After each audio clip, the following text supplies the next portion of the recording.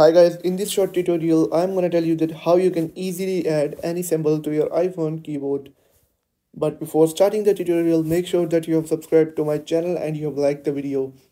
And uh, uh, also press the bell icon for future upcoming tutorials.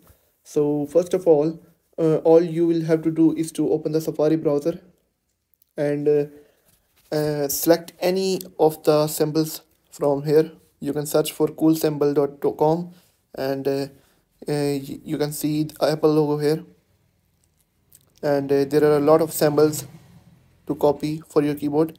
Uh, you can select any symbol that you want to copy on your keyboard from here. And you want to create a shortcut on your keyboard for this symbol for example uh, you can easily copy any symbol from here like this. Click on it and uh, just copy it. But I will copy the apple logo. Uh, I will click on copy and the symbol is copied.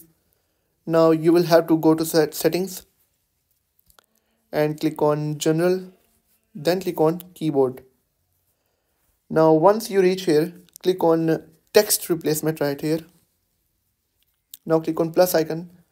Now you will have to paste the logo or the symbol that you have copied uh, on the phrase.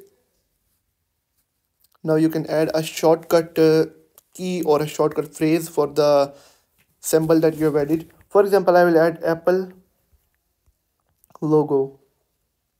And just click on save.